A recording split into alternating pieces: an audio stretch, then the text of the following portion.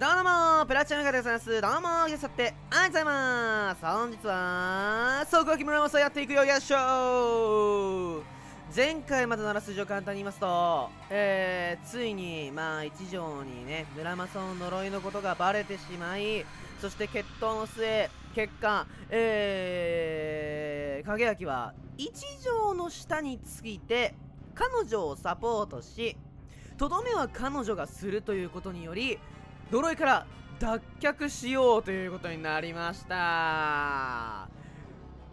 あのー、俺が思い描いてた通り。これ思い描いてたっていうのはシミュレーションしてた予想してたっていうんじゃなくてそうしろよって願ってた通り。もう影明お前もうあの心の中で何かあったのよモヤモヤが。モヤモヤがあったんだけどそれを一条が全部やってくれた。あのー、影明お前殺し外注しろ。外に注文するとかで外注しろってずっと思ったんだけどまあ前回ついに一条がそれ言ってくださってね俺のモヤモヤは晴れました。がまあ思うと思い通りにはいかないだろうなという思いながらも無事思い通りに行くことを願ってやっていきましょう。よろしくお願いします。さて不堕落城塞。不堕落とは仏教的宇宙観における浄土の一つを言ううん聞いたことあるわ天龍寺、えー、天龍寺派、えー、臨済宗をはじめとする仏教への帰依が深い六原ならではの名だろう。しかし、命名にあたっては一悶着があったらしい。へえ、臨済宗なんだ。そういえば、前から気になってたんですけど。お不堕落って、普通、不堕落とか、不堕落とかって書きませんか？確かに仏教関係の本なんかだと。それが問題になった。ああ、落ちると書くのがか。空中字を書いと一条にうなずく。上名に当てる漢字としてはあまりに縁起が悪かろう。楽は無論。楽にしても。そりゃそうですね。そこで一時変えて不堕落城となった。そのせいかどうかは知らないがこの城は落城は無論。未だ攻め寄せられた経験もないちゃんと空中からの攻撃にも対処してんだ竣工から5年も経たぬ歴史の浅さであれば当然とそう言ってしまえばそれまでのことだが、見る者の攻撃の意欲を失わせるまでの異様を示していることもまた事実である。異様のうちどの程度が実力で、どの程度が苔脅しであるのか、セバストポリか、それとも五稜郭か。えー、正常の行方によってはいずれ問われることもあり得よう。正常か。そこへ一石を投じる結果にはなる。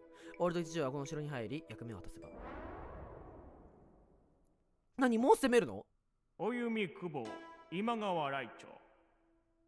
この男が今幕府の主導権を握りたがってアクセクしてるんやけどそうは問屋がおろさん。血筋から言えば四久保の筆頭やけどな、うん、それだけで納得するほど他の3人は甘くない。結局国氏の貢献には長老閣の遊佐同心が建てられて来長は風下にやられてもうた。そこでなこの来庁に力を貸す、こっちの政治的地位の向上と引き換えにな六原の執権に押し上げてやるんや。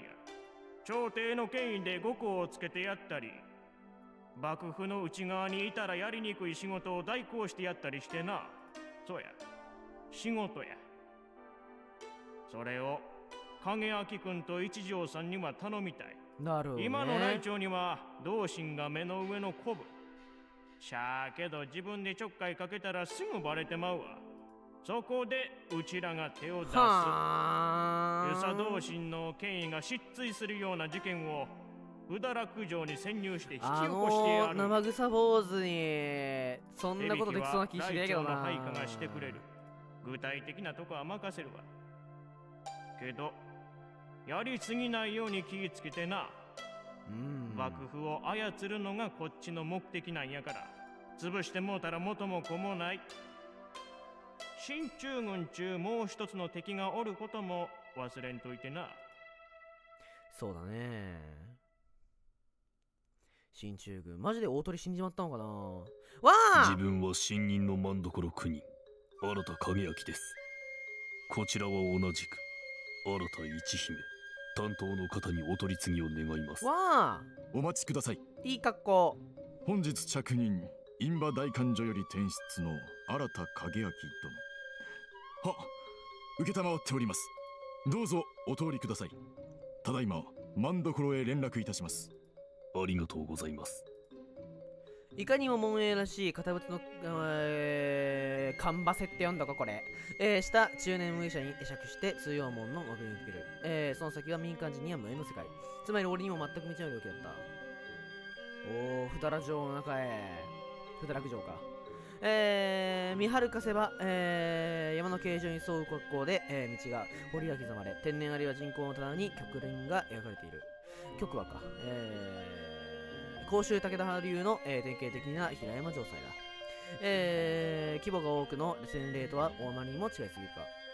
あそこに行けばいいんでしょうか？いや。最も手近な、えー、曲を指さして一条。俺はかぶりを振った。不堕落城内部構造など公開されているはずもなく、事前調査で得られた情報はごくわずかなものに過ぎない。しかしそれでも、通例に照らせばある程度まで推察することが可能だった。あれはおそらく下級武官の詰め所だ。政務施設は普通ずっと奥にあるなるほど。じゃあ山登りですか？呆れたようなその声は面倒を嫌がったのではなく、毎朝幕府の役人たちが村をなして登山する光景を想像したのだろう。苦笑して誤解を訂正する。その必要はない待っていればなんか、迎えが来るなんか苦笑してとか、なんか、マジで影焼き感情よく出るようになったな。迎えピンとこない様子のオウム返し。俺は山裾に向かって見ていく大手に口指さした。アスファルトで舗装されている最新の技術だな凹凸が少ないそうですねあそうか迎えのものがあってたよな。一応は気づくのと前後して空虚ながらも重々しい低音が山の斜面をスペル落ちてくる。エンジンの排気音だった。思ったよりも早い。あの実直さな門営は自分が言った通り、速やかに連絡をしてくれたそうだ。車かこれだけ広い城内だ移動手段が徒歩に限られては機能すまい丁寧に舗装された道路もあるうん。本丸から大手門までものの十数分もあれば行きつけるのかもしれんな便利なもんですね下級の檻兵員を迅速に展開するのにも役立ちそうだこの城へ攻め込むにあたっても同じことが言えるが、いやだからこそアスファルト舗装なのかもしれない。コンクリートではなく。コンクリート舗装の方が耐久性が高い。50トン超の挑戦者の、えー走行にも耐えられるだろう。これがアスファルトだと路面の損傷は避けられない。しかしアスファルトは処理が容易である。敵に疲れかねない場合は破壊し、自分が使うときまた敷,、えー敷設という腰の低い運用も可能ではない。えー、もっとも、それもコストを度外視すればの話だった。実際そこまでするのが未数だった。国産車だなあそういえば新聞で見たことありますこれ富田 AA 富田。型国産乗用車の第1号だ。富田ね。この城で使われている車はすべて国産ですよ。値は張りますがそれが公人のたしなみというものですからね。全く同意できます。その姿勢なくして国内産業の育成は成し得ません。あなたが今川中将閣下の。武用心ですよ湊様ここで迂闊にその名前を口になさいますな。私は表向きお弓とは何の関係もない一介の役人を装いスパイ活動をしているのですから。とてもそうは見えませんが。当然でしょう。そうでなくては密偵など務まりませんもの。港さん話が通じてないような気が。うん。俺もそう思う。さあどうぞまずは感謝へご案内します。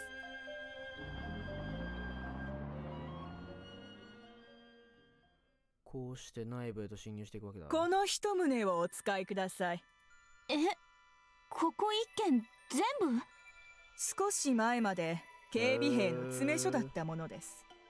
住むには手狭で少々不自由をおかけするかもしれませんが。うん。十分です。他の感謝から離れているのがいいええ。その点を考慮して手配しました。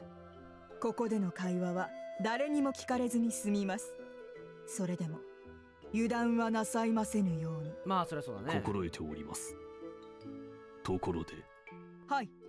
今後あなたと連絡を取る際にはどのようにしましょう？万所で与竜殿岩田を呼び出してくだされば結構ですお二人は私の部下ということになっていますから人目をはばかる必要はありません。了解しました。他には何か？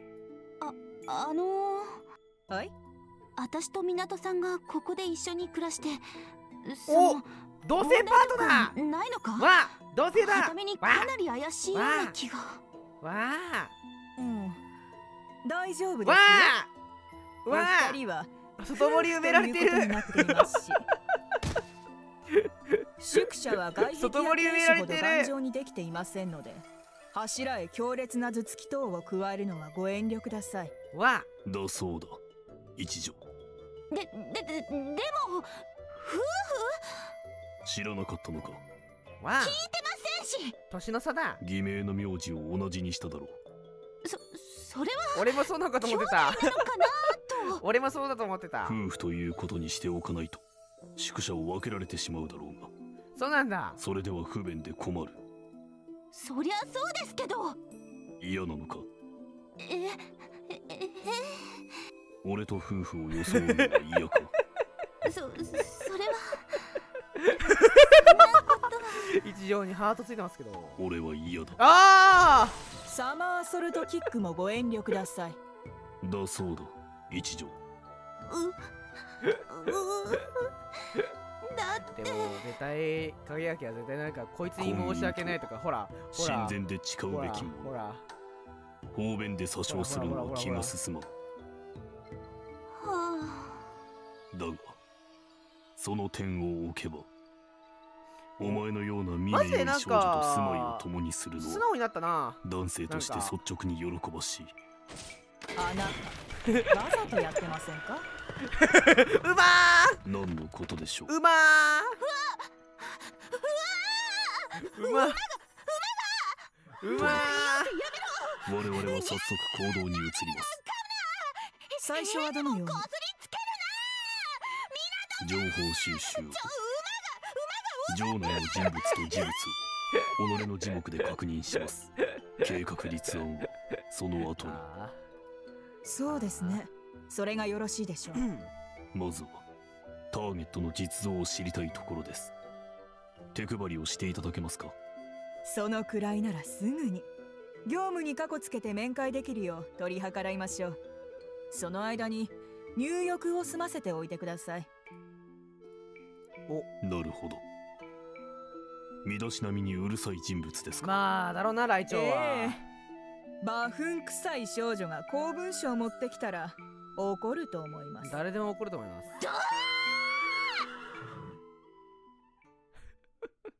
誰でも怒ると思います。それはお おバグ臭い少女を風呂に浸からスタート。岩田女子から書類を受け取って不堕落情本まで入る。書類自体はどういうこともない提供告書だった。しかし失勢に提出しえー、らえー、これなんて言うんだ？うんなんとかあの印をもらう必要がある。格好の材料だった。あの工作員の仕事はなかなか手早く進がない。それで、えー現在の幕施設、えー、陸失勢、唯一所に残っている久保、遊佐同人の、遊佐同人に、えー何の不自由もなく会うことが叶う。遊佐同心ってどんなやつなんでしょう？それを多少なりと知るために会いに行くのだが。周囲を確認する。幸い人影はない。言葉遣いに注意しろ。宿舎とは違う。どこで誰が聞いているかわからん。六原の新米子役人になりきっておけ。ああはい。すみません。ここへ注意してから話を続ける。遊佐これ森入道同心。関東宿坊の最年長であられ先の大将領森氏殿下の懐刀と目されていたお方でもある軍政領略の道に明るくその一方文化芸能も大いに好まれ多くの芸術家を保護しまた御自らたしなまれる。単なる伝統保守よりも新規な試み前衛的な挑戦を愛されるその姿勢と公務においてもしばしば型破りな振る舞いを見せることから人呼んでババサラクボ俺が知っているのはこの程度だ一般常識の範疇である。私もそのくらいです六原の連中ん方々って私生活とか生々しい姿をほとんど新聞や雑誌に見せませんからうん。確か世界各国の王侯貴族と比較しても少ない方だろう。それはおそらく大和支配という軍事行動の最中であるとの認識が彼らのうちにあるからだ。平和時の、えー復帰層の義務として、大衆にゴシップの種を提供するように振る舞うのは全てが終わった後。ヤマト唯一にして絶対の支配者になりオスターとのことだろう。まあ、僕の血を流した末に、ありが流しながら、そうさせるために、俺と父はここにいた。さて、出会うのか？関東第六区の食料状況報告を提出に参りました。遊佐中将閣下にお取り次ぎ願います。かしこまりましたお待ちくださいこの子。小じとともしき少年が通路の奥へ消える。待つというほどの時間となかった。少年が戻り、無言で脇へ下がって通行を流す。軽く軽釈して俺は進んだ。すでに一条が続く。十歩ほどでごく失木な少年に行き当たった。襖奥で着座し、こちらに背中を向けている大柄な地図大柄な人物に対して礼を取る。構わぬぞ入れおおー。あまり頭上げぬよう注意しつつ、敷居をまたぐ。無礼をしようが部屋の主には見えまい。が、小獣と目が背後から光っていることは伺いなく、えー、やはり態度は慎まねばならなかった。四角の一条がどう振る舞っているか少し気にかかる。どうとともに張っていたりしなければいいが。宇都宮からの報告かは国類の不足は深刻かの御意。このままでは、配給制に移行せざるを得なくなる恐れもありとのこと。ふん岡部の乱がたたっておるなは総じて食料事情は改善の方向へ向かってはおりますがうん。北関東の一部は例外と言わねばなりません。軍の挑発が過酷であったからの。それにあの辺りの町や村をいくつか反乱に加担したトガで潰してしもうたのも響いておる。皇后を思えば見せしめは必要であったしの。獅子殿のやりようを責める気はないが農業人口をいきなり千人単位で削られてはな経済が土台から崩れてしまうわ。はさてさて。どうしたものやら。書類を見もせず背を向けたまま、輸送同士入道は悩ましそうになる。そうといて、どうか心ここにあらずの態度もあった。細かい手作業の最中のようだ。ちゃちゃ丸殿に頭を下げねばならんかな。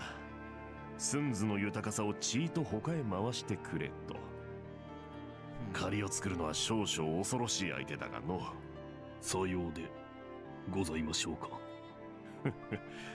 お主あの姫子を侮るか。滅相もアドル以前にそもそも一面識もない。あれは人食いとらぞ。堀越騒動の顛末を知らぬわけではあるまい。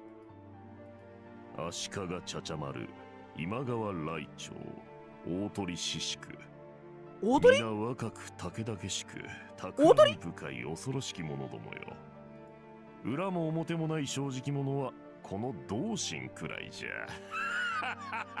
大鳥って言ったか今。飛び金の冗談を口にしたように四工房の指摘は、えー、宿坊の指摘は高く笑う。追従して笑っていいものかどうかは俺の悩み結局やめた。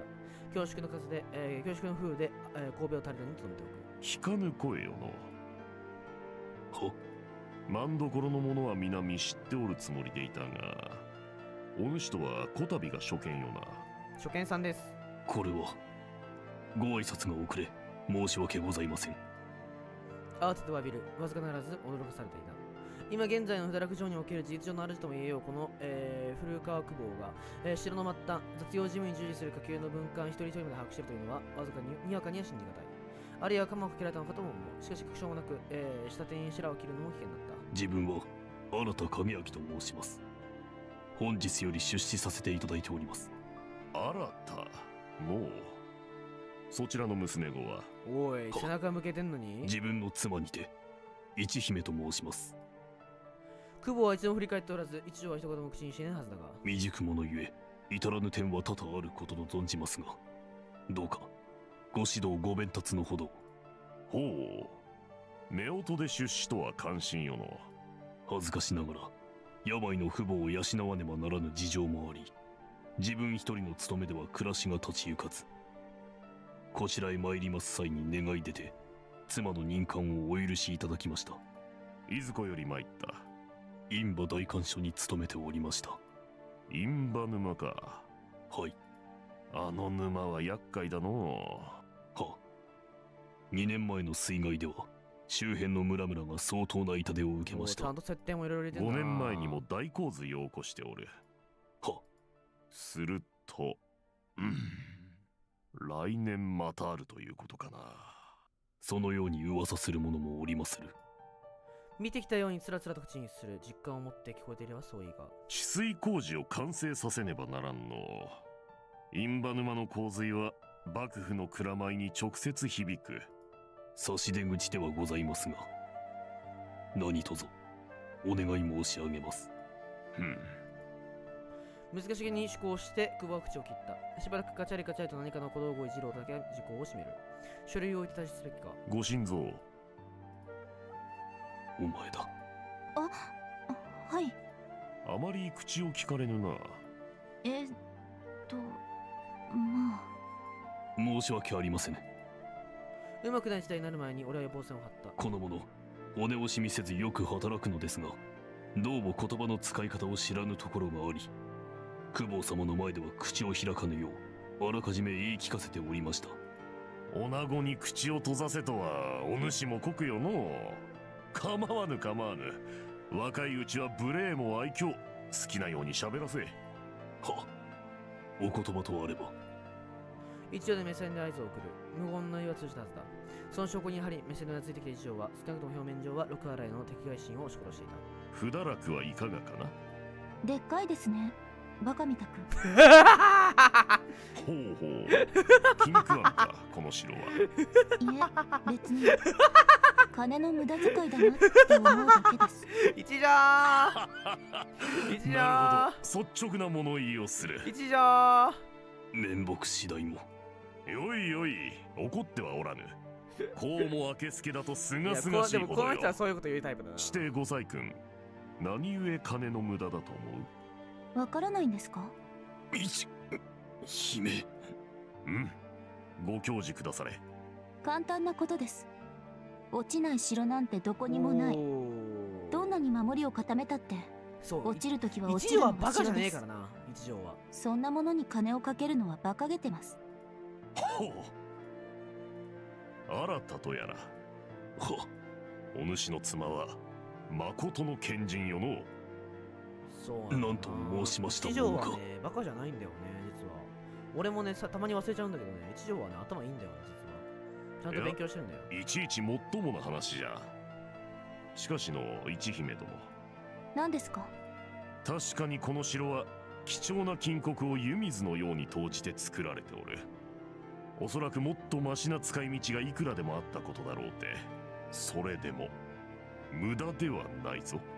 そうでしょうか一条が一言で返す控えめに言ってもそれは返答というより半数だったし挑戦的でもあった、うん。どんな意味があるんですか？わからぬかな？はい。それはの一言言葉を切りそれから、えー、包帯の武将はいかめしくも述べた。苔脅しじゃ。ほれでっかい城を建てればみんなビビるではないか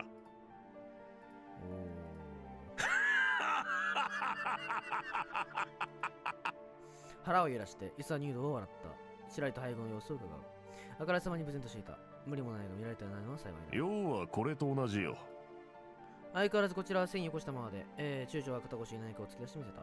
先国からずっといじり回していたもののようだが。著色でございますか？いかにも。竹で切った小さじ。確かに茶道具の一つに数えられそうである。名を思い草と申す。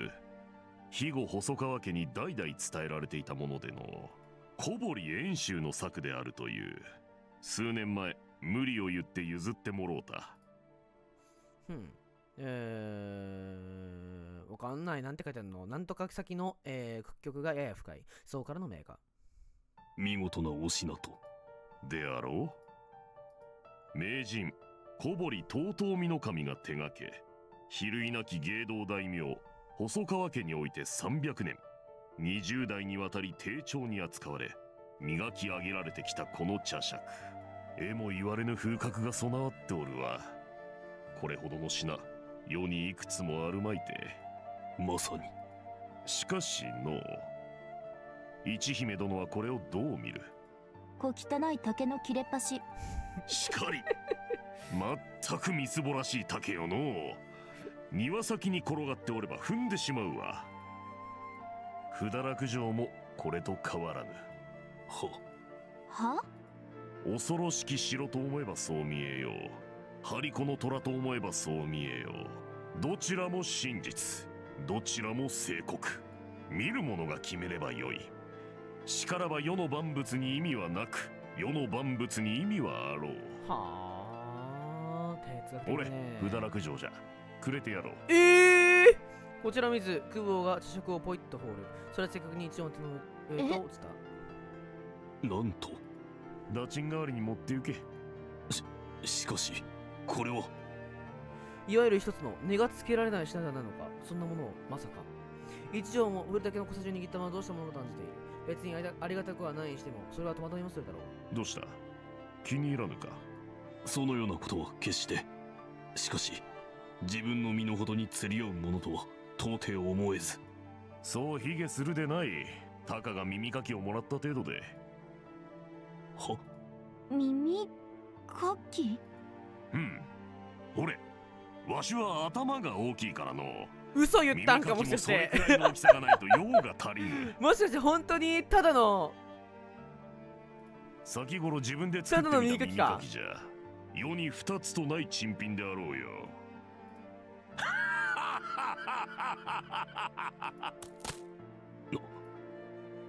このクソ坊主。おおからかいが過ぎたかの？クワバラクおワお大丈夫かよ一バラ条報告書はそこに置いてゆけ。奥方がわしのハゲ頭をひっぱたく前に連れ出してくれ。は御意に。ご苦労であった。は失礼いたします。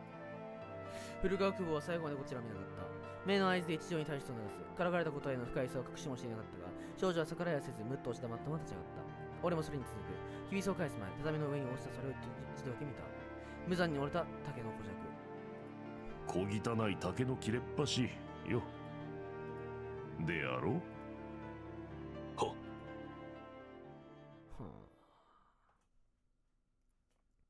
あ。味を見るには目で見るなと申すわまたずさんな手を打ってきたものよのう。やれやれ。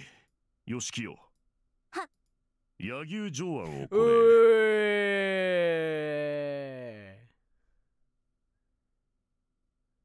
なかなか一筋縄ではいかぬ人のようだ。ただの腐れ坊主ですよ。人をバカにしやがって。一条はまだ、えー、憤懣霊の冷めやらぬ様子だった正国の注意が一応生きているのか大声を上げたいないものの全身から不機嫌の息縮がにじむここは本丸から、えー、官僚釈者のある二の丸へ通じる道の一つだが、えー、勾配きついせいか他に数顧客はいない。そのものと期待して選んだのだがどうやらその判断は報われている。とはいえ。一条もう少し感情を隠せ。はい。そうしなきゃならないのは分かってるんですけど。ままならないのか？どうしても。うん周知からか一条を打ち抜いた。敵地に潜んで弱くなく溶け込む。確かにその素直な。素直すぎる少女に難しかろう。短期決戦だな。最初から抱いていた方針を再確認する。時間をかけても自滅に至るだけだ。それは何も一条一人の責任ではなかった。俺とっても潜入工作などという繊細な任務に適したからではない。ボロはすぐに出る。だからその前に解く任務を終え去る。そうするにしくない。孤独そうするに孤独ん、えー、なんて読むのこれ。孤独ない。えー、俺と一条の二人組では入念な準備工作を大きくする以上、至極乱暴な作戦になってしまうのはつけられないものだが、もとよりそれは真のも承知の上だろう。むしろある程度の乱暴さを望んでいる。大れる武力集団の六洗いの横面へ、えー横っ面を張り飛ばすべくして、それには同盟者今川来長に力を見せつけるという意味も含まれる。わざわざ2機の武者を送ったのだ。いないはずなかろう、専門の工作員ではなく。問題はその毎度の宮の希望をどう具体的なプランに落とし込むかだか。みんな影明さん急に名を呼ばれて、えー、試作が出たりする。自分の口でした呼び方に、えー、枠乱させられた風で、えー、一応は頬を赤めていたが、別にその行為自体が目的ではなかったらしい。道の先を示している。女性がいた。ほえ？若い、美しいようにも見える。それは、しかしそれは別段、いぶかしみに値しない。同様の条件に該当する女性はこの王女様に、えー、王女にいくらでもいるだろう。女の身でわざわざこんな険しい道を歩んでいくのだから、キーといえばキーだが、それも怪しいほどのことではない。一応とって何の苦もなく歩んで。にもかかわらず事実として、その女性は注意を引いた。気が格好しているということもない。ごく、えー、出木な、素朴な装束だ。岩田女子のような役人用の機能的なものともまた違う種の。といっても雑用風の実りではない。結局そこは引っかかるのか。服装はその人の身分、立場を表すものだ。が、女性の格好からそれが見えない。要望にも品があり、その点のみを見れば、えー、拷問の姫とも見える。しかし、服装を見れば明らかに違う。奥で落ちてる女官にも、えー、城内の神社はカンナギにも、役人にも、部下にも、掃除人にも、食堂の飯炊きも見えない。この城内は人間の階級と役割が厳格に規定された小社会を構成している。なのに、そのどこにも該当しない。浮いてるのだった。その姿が、えー、取材投げな態度も含めて。もし、思考開始から行動までほんの数秒だった。しかし迷わやった。よからの役人としては不審な女性を見過ごさないべきだろう。だが実は彼女は不審でも何でもなく、城内の住人なら誰も知っている、少し特殊な立場の人間なのかもしれない。であれば無知な対応は命取りになり得る。死人のものだからですと限らないのだ。が結局、俺は駒を張ったのはこちらだった。はい。何か、難儀されておいでですか？難儀というほどのことでは。臆するように女性が目元を伏せた。ついそれにつられて視線を女性の足元へやる。刀剣としても山歩きには適さないであろう薄手の履物は土で茶色く汚れていた。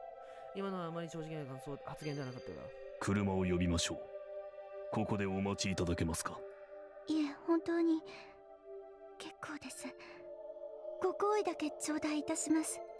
しかし、おみ足が。すぐ近いのです。目的地がということだろう？近いはずなので。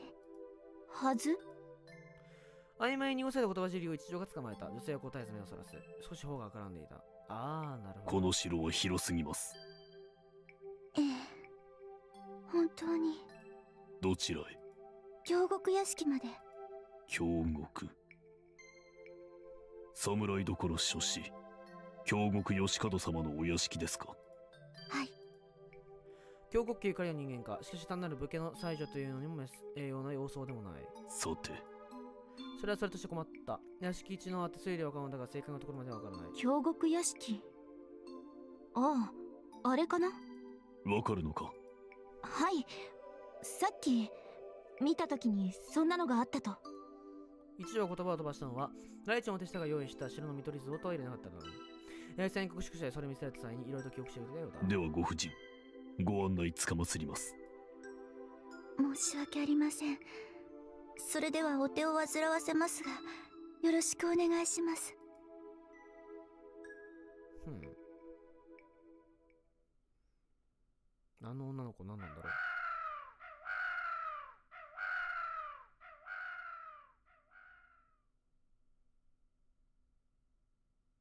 お前の迷子癖を忘れていた俺が浅はかだった。ち、違うんです。地球の自転がプレートテクトニクスが私の計算を裏切って。あ迷子の女性とあんな役の出会いは喧嘩を起こし3人の迷子を出現させていた。ミイラ取りがミイラになったとも言う。気づけば空は茜色、えー、カラスの声が耳に痛い面目ありません。ご婦人。かえってご迷惑をおかけしてしまいました。いえ今度は今度は地面に棒を立ててお前は何をする気だ？末期的だった？散々引き回された女性は腹を立ってこそいないものを腑に落ちない様子で首をかしげている。その意味する向きは大体想像がついた。先回して答えておく。実は、今日着任したばかりなのです。城内の地理に明るいとは言えず。そうでしたか。申し遅れました。自分は万所九人、新田景明です。こちらは同じく、一姫。岡部桜子です。岡部？挨拶もせずこちらこそ失礼いたしました。岡部？岡部といえば先日会津犬大城台で、えー、反乱の部屋を起こし大鳥獅子に率いる幕軍に敗れ打ちされたあの。壇上院頼綱公のご息女であらせられましたのか？はい。これは？知らなかったこととはいえご無礼を。そのようなお気遣いは無用に。今はただ俗称の落とし種というだけのことに過ぎません。感情なく岡部の姫が言う。俺は暫時続けるべき言葉もなかった。一条絶句している。その足元に倒された棒酔いに向って崖のある石へ向いていた。もうさりげなく飛ばしつつ胸中のパズルピースを成功をつけさせていくなるほどそれでこの浮いた姿か岡部頼綱。一時は足利森生に匹敵する女性、えー、現世を有し、えー、男女多い、えー、皇族を当てるのが通例だった。の感触を得た人物。その娘。名家の出自であるが今その名声を公に認められていない。後期であるが後期を失っている。えー、と言って次元に、えー、居場所を得られるわけでもなく本人の語る通りただの廃所の種でありそれ以外は何者でもありえない。この城になって存在感が際立つのそのその私もほんの1週間ほど前京極家の預かりとなることが決まり笹川久保府からこの城へ移されたばかりなのです。それで道もまだよくわからず。は半端な合図によって歩みを再開する。音楽の検討はかなりアバウトなものだった。しかし立ち止まっていた。空気の停滞に耐えられそうもなかった。考えたことはさして変わらなかったのだろう。この二人も躊躇なく荒けに同じだな。ふとそんなことを思った俺と一条と岡部の姫侵入者二人としてる敵将の娘。どちらにとってもこの荘厳な城は安心落ちとなり得ない。こちらは城に馴染むと知って似たような環境を抱いたのか深い孤立に彩られていた姫君の顔は今わずかに柔らかった。何かあいえ。急に声をかけられ一条が泡を食う。何を思ってか桜子,、えー、桜子姫の横顔を注視していたのがレスポンスがあるとは予想だにしていなかったらしい。その綺麗だなって思ってなんていうかさすがお姫様っていうか。ありがとうございます。でも奥御殿にいらっしゃる姫様方の方がずっとお美しいでしょいくらかの集中をにじませて姫は小さく答える。確かにここから遠くない場所で安逸を貪っているであろう貴婦人たちとは身を包むその点で格段の差があるに違いない。が一条は首を左右した。そんな格好だけのことじゃなくてその本物って感じが。本物だぞ。失礼すぎる。そそうなんですけどそうじゃなくてその本物っぽさが本物っぽいから。まあ言わんとすることはわかるぜ。落ち着け。言いたいことはわからんでもないが。言っていることはさっぱりわからん。最近俺の周囲にその手の人間が多い気がする。どういうわけかふと見れば桜子姫がたまりかねたようにクスクスと笑い出していた。口よく品,、えー、品よく口元を手で隠しているが声を押し切れてはいれ、えーいないよう申し訳ありません。けれどおかしな方々。ただいまの一幕をもって我々の人間像を見定めないでいただけるならば深く感謝の念を抱くにやぶさかではありません。すごく回りくどいんですけど。この娘は変ですが自分は普通ですわかりやすい。そしてひどい。お二人とも幕府の他の方々とはだいぶ違います。は不堕落城に来てまだ一日も経っておりませんから。処刑のようには馴染んでおらぬのでしょう。ええ。あまり本物って感じがいたしません一条を真似て姫ごとくた口調で言う。言われてこちらは笑うところではなかったが。目からうちに言いかけた矢が的を貫いている。姫に定義がないのは明らかであるにせよ。全く動揺せずに済ますのは無理だった。それでもどうにか驚きは顔の表面を切れる前へ沈める。一条も借金にいた声を小さく漏らすだけでこらえたようだ。こちらへ来る前は田舎で事務仕事をしていたに過ぎぬものです。ひょんな縁からこんなところへ栄転してしまいましたが。正直戸惑うばかりで。そうなのですか。それは気苦労も多いことでしょう。私もお二人のように働いておられる方々とは比べ物になりませんけれども慣れない土地ではいろいろは特に道が複雑なのは困ります。笹川と違って始終監視の目がついて回らぬのは良いのですが出歩くたびに迷わされるのはどうにも。不堕落に暮らす城塞不堕落に限らず城塞というものは必要以上に入り組んだ道路構造を有することが稀ではない。敵軍に城門を突破された際少しでも進行を遅らせまた兵力を分断するためだ。無論地理に明るいものならば最小限の時間で養殖艦を、えー移動できるようにもなっているが、えー在場1週間の桜子姫がそれを知らなくても不思議はない。今日も八幡様にお参りした後馬場に立ち寄って馬を眺めていこうと思ったのですがその途中で迷ってしまって。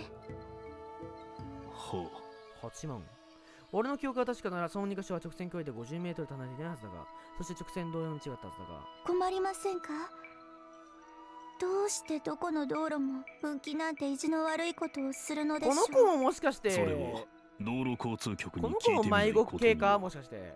みんな一本道なら迷ったりしませんのに。確かに迷いはしないでしょうけれどもえー、交通の利便性と並立させるには一体どれだけの道路が必要になるやら。ですよね。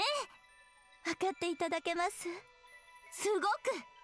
そう分岐なんてするから悪い。あれが全部悪い。一本道をたくさん作ればいい頭悪い。地上で足りなければ地下にトンネル掘い。そうですそうです橋をいっぱいかけたっていいんですし空ならいくら使ったって誰も困りませんもの。頭悪い、あなたもそう思いませんか？個人的見解を申し上げればそんなジャングルジムのような街には住みたくありません。同感である。えー、ジュートの方向認識障害者2人が意気投合していた。そして俺は取り残されていた。帰れんのかこれ。結局通りすがりの人に道順を尋ねたありがとうございました。いえお役に立てませず。峡谷屋敷の手前頭を下げる姫にこちらも礼を返す。謙遜になっていないところがバレながら情けない。あのはこれからももし私を見かけることがありましたらどうか気兼ねなくお声をかけてくださいな。その声はややためらいの響きを帯びていた岡部桜子は幕府に見引き賊の烙印をされ滅ぼされた武家の貴族遺族。六らに使える者にとって彼女との接近は決してプラスとならないだろう。従順な子役人を演じねばならない俺たちにとってもだが俺は思考を返した。カタラの日常とともに。もったいなきお言葉。喜んでご好意に甘えさせていただきます。何も言わなかったが孤立無縁の女性は去り際に化粧の薄い唇を少しだけほころばせたようだった決して暖かくなかろう住まいへと帰っていく。あのはい。あなたはどう思ってるんですか？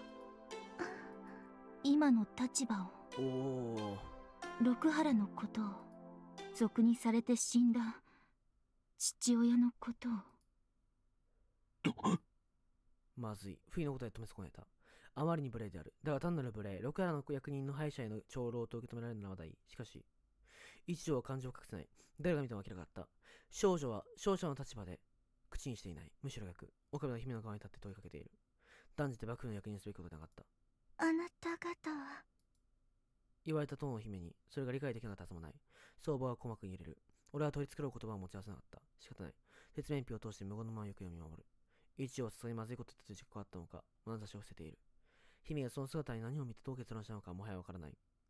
再びその唇が開かれた時こぼれた声に噴火の色艶はなかった。だが決して空虚ではなかった。堅牢な何かがあった。私は敗者です。それ以上の何も語ろうとは思いません。戦って敗れたからには沈黙し勝者に神戸を垂れるが武家の習い。口戦は先端を開く前にせねばなりません。敗れた後の雄弁は無知のそっしりを受けるもの。私は語りません。この口からは何も。岡部の名を恥ずかしめぬために。六原のことも父のことも。父が何を思って戦ったのかもごめんなさい。一条は何に謝ったんだろうな。進行。泣いた気配の席に遠くから出て窓辺へ寄る。村正か。ええ。捕捉されずには済んでいるようだな。厳しいけれどね。夜になれば少しは警備も甘くなるかもって期待してたのに変わるまいむしろ硬くなったくらいよだからこそ俺も宿舎を出るのは控えた。夜の調査行動は昼と違い認められただけで致命的に怪しまれる何の益もない。音響に優れる村松でさええー、手こずる関心も多かいくくり情報を収集するなど SK 間には苦がちすぎる。それで結果はどうだ？今のところは反応なし。もっともまだ全部を回ったわけじゃないけれどうーんねにっ本丸周は辺にはとても近づけないし。あれは何なのかしらね。表の警備陣だけじゃない。裏にも何か結界がありそう。そうか。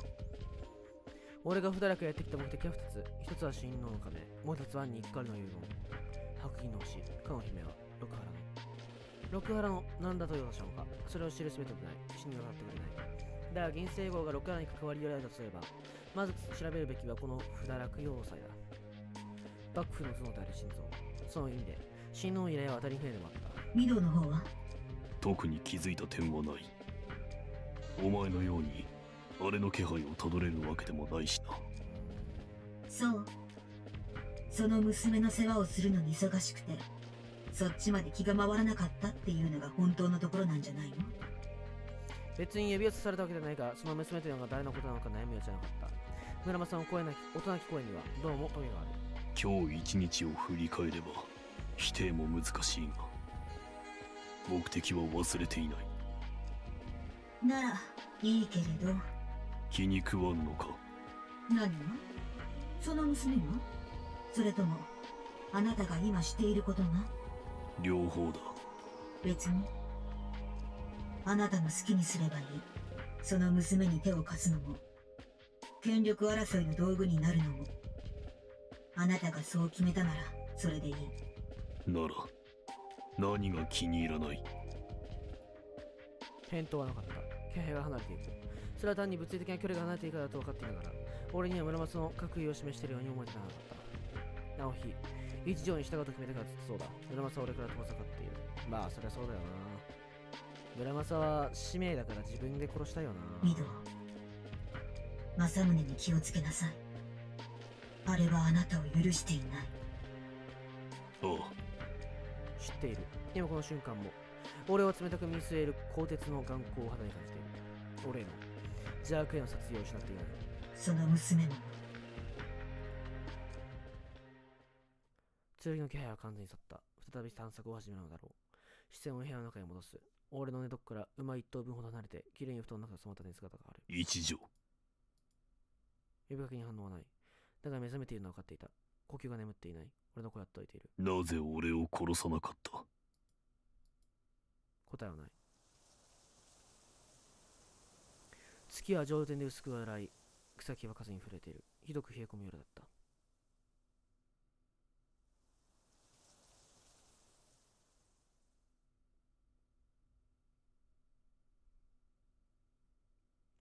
一条を先に送り出し俺はしばらく宿舎にとなった今日の予定は手分けして城内見回りだ名目は城内閣部署への連絡入である研究すると機密性は高くないが、口頭通達の必要がある連絡は、まえー、祭り、万所に属する公人が、えー、日常的に担う着物の一つ。つまり、フラフラでられていようと、出身を買うには当たらない。えー、ケイラの兵士に認められても、適当な書類を見せて説明すれば数回押されると、岩田女子は保証した。足で情報を稼ぎたいこちらにとって、これほどの好条件も限りだろう。情報、そう情報だ。それは文章に変換されたものではない、木の情報がいる。すべきことを策定するためにも実行するにも、まず城の現状をもう少し肌で知らぬことには始まらない。言うなれば、遊佐同士に人を吹かせるのが俺と一条の仕事なのだが、あの鬼道をしてうわーって差しめるのは、丸木まで太陽横断するに難しそうである。経験に置けなかった。とはいえ、やはり時間をかけるのも下策だろう。一晩経っても一応相変わらず、剣の気配を衣のように縫い付けている。城勤めの緊張で気が立っていると思いなくもないが、せめてもの救いだが。あの方には、武官として潜入していただいた方が良かったかもしれません。確かに、ね。あるいはここへ来る途中、すれ違ったのか。後ろを気にしながら観測する岩田女子に俺は名付けを返した。あまり怪しまれないよう、私の方から手は打っておきますが。お願いします自分も少し考えておきましょう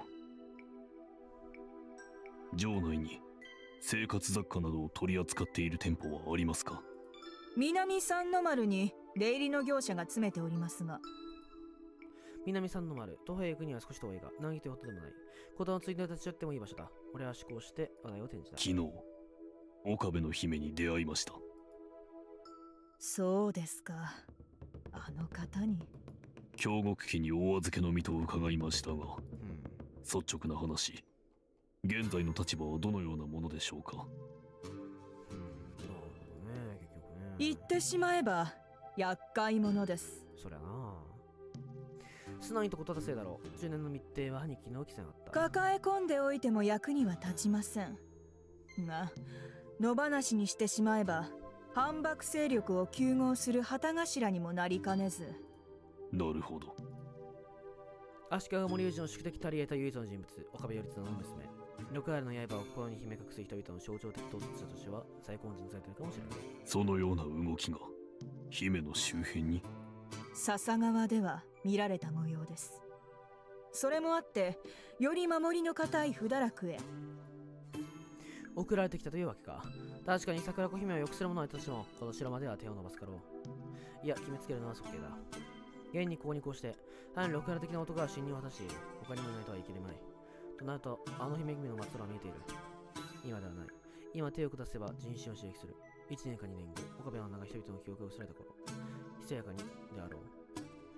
利用するおつもりですか？まだそこまでは。私どもにとってはいささか危険な駒です。もしあの姫を使われる場合には先だってご相談いただけると無用の祖母を生まずに済みましょう。心得ております。忠告めいたそれは恫喝だった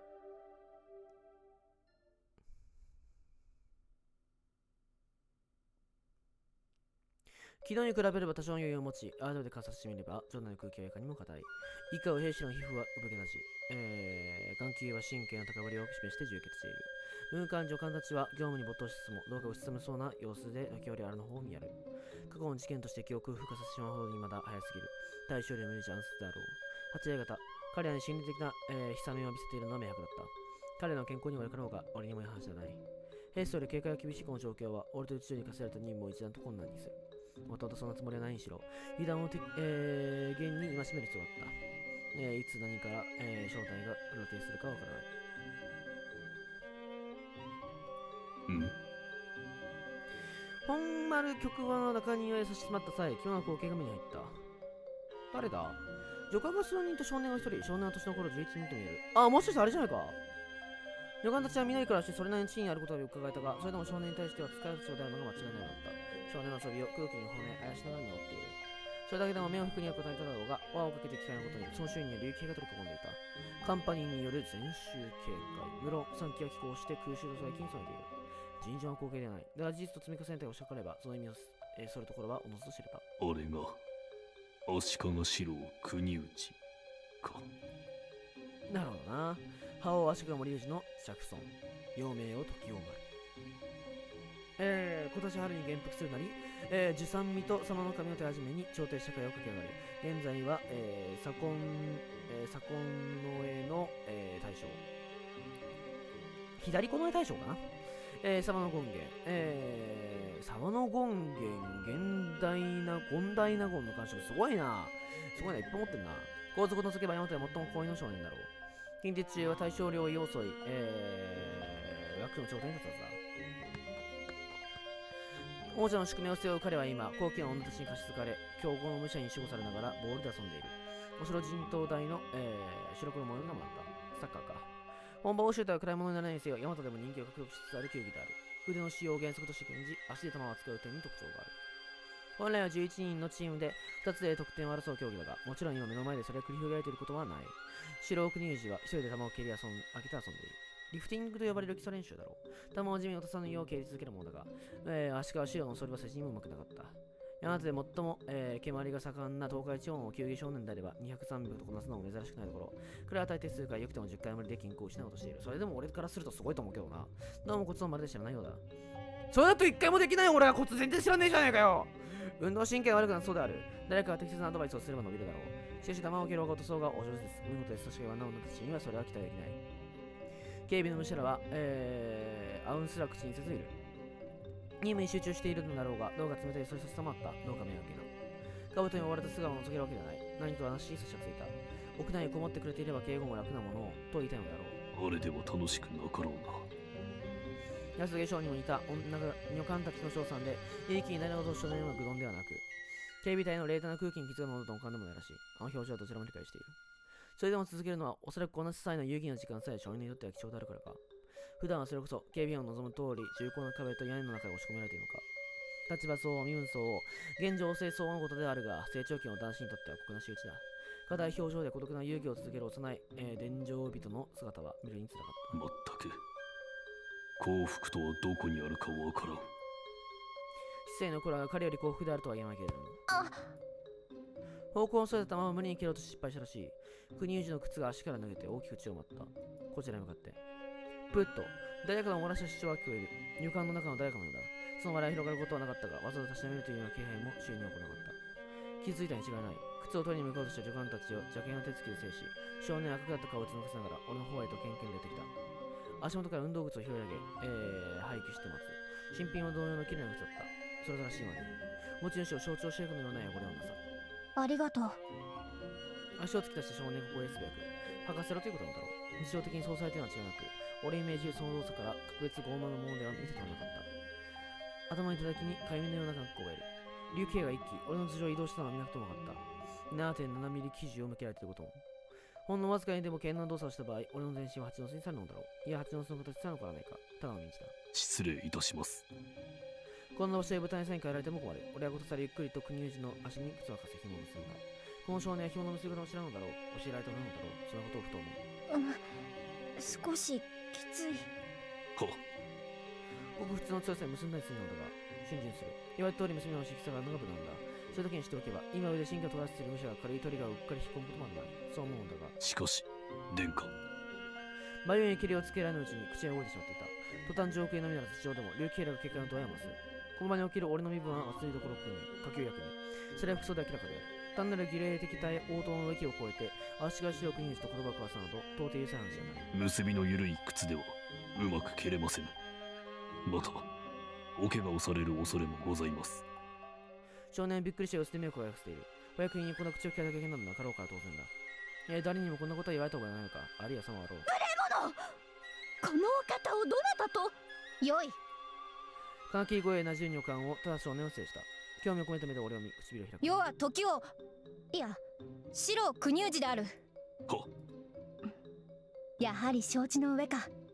そなたのようなものは初めてだ。名は何という？新たと申します。殿下。では新た。今申したことは確かか？は靴が緩いのがいけなかったのか？他にもございます。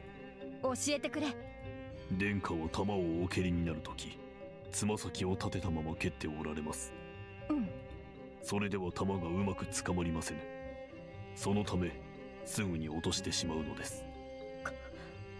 このケロ。九人ごときのみで殿下のなさりようにな癖をつけるとは。戦場にも程があろうぞ。うるさい。良いと言うておる。再度の役割を国有じゃ一括で払う女官の怒りは常識に照らせば至極当然になる。それを思うといささか申し訳なかった。新た続けよは蹴るときに足首をお伸ばしください。足の甲を平らかにしてそこで蹴るのです。足首を伸ばして。首をかしげる足川四郎。意味わかるがしっくりこないといった様子だ。殿下玉をお貸し願えますか？うん。そして立てた玉を受け取る。通常の企画品だ。宮は高級品だと書いて扱いづらいのではないかと感じたが嫌な懸念だったらしい。あとは昔取った、えー、塀柄がうまく触れるかどうかだが想像した以上に体を覚えていた。ノンステップでまず4回。手元を飛んできた球を膝側にで受けてそのまま3回。インステップで戻し2回蹴って3回に少し強く蹴り上げる。ヘディングで1回。インステップで戻し今度は背後に回す。すぐさま左足を軸に一転し右ももで受けすごいすごい！チャチャ姉様と同じくらいうまい！国有地がはしゃぐ口調が年相応の空になっていた。おそらくこれが本来の姿なのだろう苦行足利着流時代六栄えー、六栄大将領などなど分厚い衣のカツカツが追い隠している。それ僕にもできるか？はい。殿下にもすぐにできます。おため国書のつもりはなく答える。リフティングはコツと練習が全て。この少年くらいの運動神経があれば上達は早かろう。球を返し要点を繰り返す。足首を伸ばすのです。膝も曲がっていてはいけません。うん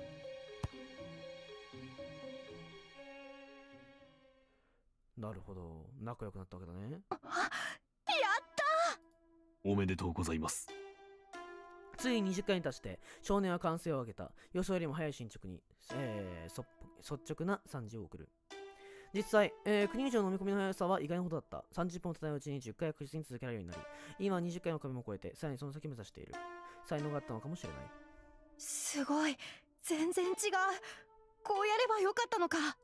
ありがとうあなたお前の教えのおかげだもったいなきお言葉にございます足掛けの着手はリフティングに夢中になりながら、それでも声だけを礼を起こす。少しならず驚いたせいで返礼がや遅れた。このような身分の少年が、こうも素直に会の者に礼を言うとは。足利白国氏はどうやらいい気質を持って生まれたらしい。彼を取り巻く環境がロックから幕府というものであった事実を鑑みれば奇跡的さえこの少年がこのまま成長するなら山本国の将来はそう悲観したものではないのかもしれない。そんなことも俺は考えた。あなたはどうしてそんなに詳しいの？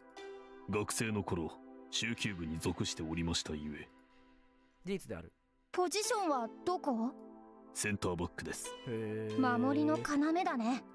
時折フォワードに起用されることもありました。背の高さを買われても抜擢だ。ゴール前、センタリングされた、えー、球を押し込む際、えー、上背があればヘディングを決めてできる。いいな、僕もフォワードをやりたい。ライトウィングがいい。松永選手のようにですか？そうそう。すげえ、未来のこの国の王様と軽口叩いてるぜ。できますと答えかけ、俺は手口を閉ざした。少年は追求してこなかった。ただ切な目の端に寂しさを過ぎ出したように見えた。懸命な少年だ。その懸命さが魂。足利白国氏が決まり選手となり試合上をかけることは決してないのだ。たとえ彼に才能があろうとも、決して許されない。そのまま、30回に届きます。うん。膝が曲がってきています。お気をつけて。少年の傍らに光るアドバイスを続ける。助官たちのいた、えー、トゲトゲしい視線も、護衛兵の呆れたような、えー、それも、俺はもう気に留めなかった。それかけた少年の弾を、えー、少年の足がつく前に引き戻す。太ももで返しもう一回。30。よし少し言い込みが過ぎたようだ。勢いを切られた球は、こうかきながら高く踊った。えー、山形の軌道で落ちていく。地面にぶつかりポンポンと跳ね転がり、白い貝がそれを拾い上げた。おお桜子姫。前後を数人男に挟まれ、どうかへ連れて行かれるところだったようですが、男たちはこちらを、正確には国吉そのに気づくと、その場で膝をついた。戦闘男は新聞で見た覚えがある。京極全門。えー、吉門かな?どっちかというと。えー、幕府の、えー、侍どころの長官である岡村姫の引き受け手でもあるはずだ。玉を抱えて、姫は国以上見つめている。えー、なんとも複雑な、曰く言い難い表情をしていた。横から彼女の消えてきた。表に出さないを詰めているからといって、恨みつらみはすぐさま消えてなくなるというものでもない。足が白く忍者はその旧敵の頂点である。幕府に罪があるならば、存在悪すべての責任保持者であるとも言える。岡部の乱闘時はまだ存在なかったもの。敵以外は何者かを描くべき理由は、三千大戦世界の果てまで探し求めたところで、桜子姫にあるまい。だが姫にも分かったはずだ。今彼女の前に立つ者はただ無心に遊んでいた少年に過ぎないのだと。くしくも俺が彼をそうしてしまっていた。眼差しに刃を姫で見せようと打ち返してくる刃はない。無抵抗に貫通するだけなのだ。心まで。岡部の姫にそれができるのか。軽く両目を閉ざし、えー、岡部桜子は一度加速した。何かを諦めたように見えた。そして、京極吉方に目で断りを入れ、国内の方へと歩み寄っていく。あ、お上手ですのね。言葉を失う少年姫は微笑んだ。表裏のない笑みだった。サッカーですか？は、はい。私は詳しくありませんが、西洋の蹴鞠のようなものなのでしょうか？い、いえ、違います。今のは練習で、本当はチームを組んで、点を取り合うスポーツです。素人に理解するには全く不足な説明をする国有事。手間を真そうしたのではなく、単に語彙不足。多分に突発的なのせいだろうが。姫も困ったに違いない。だが頭の上で優しく目を染めるにとお怪我をなさらないでくださいましね。うわややこしい話になってきたなあありがとう。姫が頭を差し出す。おぞおぞと手を伸ばし、国有事はそれを受け取った。暴家の姫と走ったる少年の指先はその一瞬、かすかに触れ合ってだった。桜子姫が一礼して帰っていく。日々を返す食の中にさりげなく俺の石を混ぜて。何をしてらっしゃるのという風の苦笑に、俺も同じ苦笑を返すしかなかった。全く何をやってるのだか。あらた。は声にすぐ応じたものの、正規になかなか続く言葉はせなかった。少年は遠く癖を見つめている。姫が男たちの列に戻ると彼らは立ち上がった。飛び歩き始める。どうも本番の一角、椅子同士に以下の苦労が詰める方の方角へと向かっているようだ。姫に合わせたのか足取りは遅い。あれが、誰か、知っているか？国有や彼女の素性を知らないらしい。桜子姫の方が国有を知っていたのは明らかだったので、やや俺は票をつかれた。しかし考えてみれば当然か。姫が足利白を国有を見る機会はいくらでもあるが、国有の方はわざわざ敗軍の維持を、えー、き系でもせん限り面識の必要がない、えー、知らずとも不思議はなかったあれなるは壇上院十三味岡部頼綱が一女桜子殿にございます岡部の娘衝撃を受けた面持ちで少年の体を震わせた。かの六原かの幕府を滅ぼし去った一族の娘。彼女はこちらに斜め後ろ姿を見せる格好で離れていく。新宿の様子であった。完璧ではなかったけれども見ごなしの端々に覗く強ばり,、えー、強ばりは姫のないしそのものにも思えた。岡部頼綱の娘が幕閣の、えー、面々の前へ連行されていくのだ。心楽しい会話が待つはずもなかった。おそらくは岩田女子が俺に伝えたこと。桜子ダッシュを図る万博勢力の存在について査問を行うのだろう。まさか拷問にはかけられまいが同行した尋問になることは十分に受けられる。この二役に彼女の味方になるのだから。さりよく姫は美しかった。荒野にただ一輪に咲く。孤独の花の美しさがあった。少年立ち尽くす。指先を頬へ当てて。そこへ残るぬくもり確かめるかの。淡い仕草だった。うーん。覇王に甘酸っぱい声ですか心ここにあらぬ手当たってしまった白国有事の前から退出し、城南炭酸へ戻る。南方面の局場を一巡りし、それから西へ。西側の外国には田畑や蔵、工場施設などが多い。比較的重要度が低く、その分のどかな区域だ。10歩進むたびに、えー、純羅兵の疑り深い目と遭遇するような面倒はない。それはつまり、俺にとってあまり意味を持たないということでもある。足場に進み、それ機密性の高い北北米へと向かう。時間とは、王道を向いた、えー、黄金、えー、浪費など許されない。起源か。祝宴か。介護してそう思う。足利森裕二と、えー、国裕二と岡部桜子。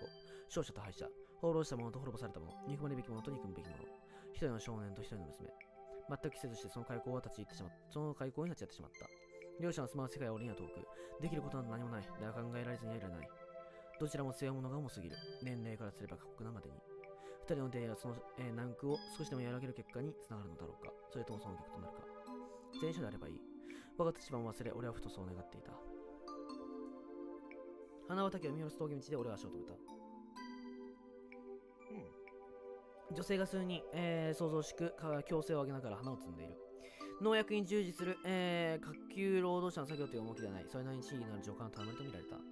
最初に注意を控えたのはその貢献のためである。しかし注意を持続せねばならなかったのは、絵離れた彼女の眺める光栄があったからだ。他は誰でもない。あれは一条だ。ほう。少女は静かな視線をその凡庸な光景に注いでいる。静けさは無感動を意味するものとは違ったけれども。一見してそうとしているほどに関係を蓄積しているのだと不意に理解して、俺は考えを抱いた。時間を言えばまだ依然、前頭、ん？前、えー、まだ前頭長早いはずだが、えー、長さに見合うの多くの機会があった。あえに一条なる人を知るための。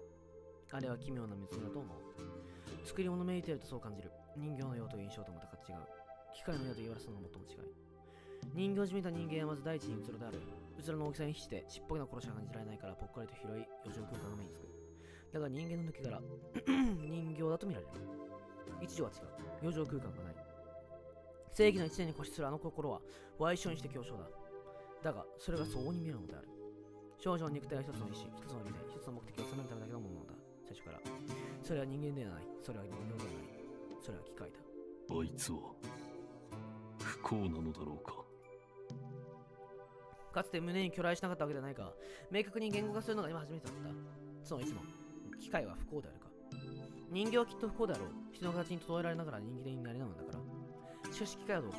機械として作られ、機械として機能する機械。それは不幸であるのか。俺には答えはつながった。正義を果たす機械か。わかることは一つきりだ。それが不幸であると幸福であろうと、機械は己に与えられた単一機能を果たし続ける。壊れるまでずっと。あ港さん足音を聞いて振り返って一応声を上げる。読んだのは実名の方だった。注意してお金はならない。だが今はそんな気になれず、俺は黙ってうなずき返しにとどめた。どうせ誰も聞いていない。ハーツに娘の一団は自分たちの会話に夢中だ。東側はもう一通り見たのかいえ、まだ途中です。当たり前のように答える一応。ここは城の西西部である。一応に割り当てた調査区域とは全く反対だ。が、俺もこれはいちいち指摘はせずにおいた。彼女を一人で行かせた時点で予測していたことだ。港さんの方はどうですか？それなりに収穫はあった。詳しくは後で話そう。はい。今さらっとスルーしたけど、こいつまた迷っとったんかい快活な声だ。しかし、間近で見れば、さなぎ、えー、間近で見れば、さなぎだに得意な少女の衣装は、えー、さらにメールだった。一応よく観察する者が一人でもこの城にいれば、たちまちに正体全てを見するのではないか。そう思いかけたのはさすがに編集的だったからけれども、視線を戻して花畑の娘を見る。算数を歌って笑い定めくのじゃらとこの一条。距離はせいぜい10メートル程度。が、生死の知恵における隔たりは描かれてあろう。傍らを見れば一条もの視線を送っていた。どう思いますか？あの女官たちか。この光景です。平和、かつ幸福。この空間、この時間だけを切り出したことが、もし、えー、当たうならば、この世界はただ2語で描写語りよう。他の表現は特にいらない。私もそう思います。けという不穏な音が言葉に続く。少女は文字通り抱きしていた。路傍で名も知らぬ草が抗議する。左右に広げた歯が激しく揺らし、それは怒って腕を振り回しているようにも見えた。観察しないでください。ついやっちゃっただけです。あまり役人らしくはないな。すいません。不愉快か。平和と幸福は。はい。あの平和と幸福は。噛みしめる小姉で少女は答える。瞳は敵を見ていた。羨むのか？あの光景を。まるで挑発のような問いを特に工夫も加えず投げてかけてみる。他の人間なら意図が伝わるところだが、一応の問い違いますまい。羨む？そうですね。あれは人に羨まれる暮らしです。案の定一条は口を涙立たせることもなく答えてきた。しかしそこに怒りはあった。矛先は俺ではないが。ただそれだけなら別にいい。世間には貧富の差があるってだけの話です。それはそういうものだとしか思いません。私はプレハーノフじゃありませんから。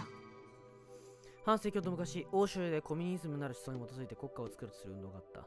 資本主義と決別し、全く、えー、平等社会を皆さんとする思想。それはだがあまりに現実から乖離していたため、救おうと願った貧民層の支持さえ得られず、権力者層は当然の弾圧を受けて、すでに滅び去っている。食事上の強いと散るマギは、指導者は有名言を残した。このように苦しと苦しさなかっただろう。でも、その豊かな人間が強盗なら別です。人の財産を腕ずくで踏んだくって恵まれた生活を送るそんなのは悪に決まってますしかも少女は、えー、紫弱な指先を刺して川の年頃だろう花畑の長官に向けた裁判官が罪人を指名するにも似た姿だったあいつらはその悪を知りもしないこの城の平和と幸福が何を代償にしているのか考えもしないで浸りきっている不愉快です繰り返す一条その口調もやはり、判事が判決文を読み上げる様に似ていた。そんな少女を見つめて思う。何を思うべきなのかと思う。王能は平和の言葉だけを弾き出した。それはどこの国でも同じことだ。どんな社会でも、資本主義自体が、収奪を効率的に行うシステムに過ぎない。ええ。強い者が弱い者から搾取するのは、おそらく自然なことではあるのだ。自然界の法則そのものがそうである以上あらゆる動物が弱者を捕食している。そしていちいち食べた相手のことなど顧みてはいない。そう考えれば誰もがあの娘たちと同じだ。はい。それでも奪うことは悪で悪に無自覚ならそれは恥知らずです。違いますか？一応まっすぐに俺を見上げた。この少女にしかできない眼差し。何を思うべきなのか。違わない。俺は答えた。そうそれはその通り。罪は罪悪は悪。いかなる倫理によっても正当化は不可能である。お前の言う通りだ。一条。はい。少女が微笑する。美しい女の顔だった。一条にもこんな表情ができるのだ愛を囁かれた時ではなく子犬を抱き上げた時でもなくこんな時に。何を思うべきなのか何も思うべきではないのか。あやね一条の機械なのだあやね一条は機械なのだとそれだけ認めて。今この切な。俺の胸をとてつもない握力で締め付けた何かの少年は忘れ去るべきなのか。答えは出せない。出せないままに。俺は行動した。宣告買い求めたばかりのものを取り出す。一条。お前は一振りの刀だ。はい。唐突な俺の言い草に一条は首をかしげしかしすぐにまた微笑した。最高の称賛を聞いたかのように。また瞬時教空が圧搾される。だがその印象は時に人をおののかせる。現状においては望ましくない。うん。そうですね。でもどうしたら？刀には目抜きがある。縁がある。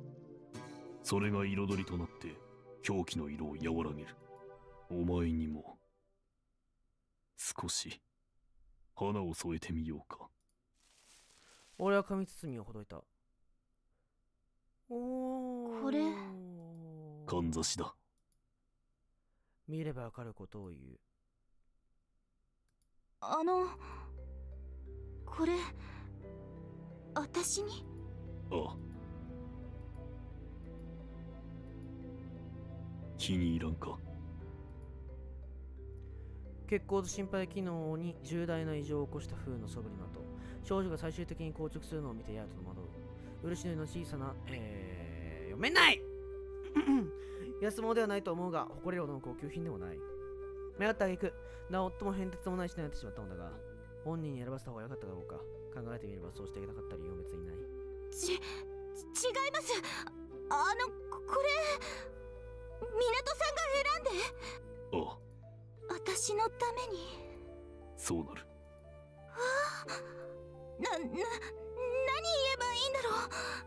えっ、とあの私男の人にこんなことしてもらったの初めてで。あ、あありがとうございます。礼なのかただうつむいたのか。判別に迷い虚着で一条が顔を伏せる。耳まで赤くなっ何やらこっちまで気恥ずかしいがとにかく喜んではもらえたらしい おー紙差しをかんざしを一条の髪の中へ収めるおとなしく感情はされるがままになった少し乱れた髪を指先へ整え改めて少女を見やるそしてすぐに気づいた少女は梅使いに俺の言葉を持っている。よく似合っていた。愛らしくもあった。年相応に。花畑の助官たちにもたらぬほどに。だがそれは愛の日常ではなかった。凡脈のどこにでもいる誰かだった。あの美しい女はここにはなかった。どうですか？ああ俺は微笑んだ。よく似合う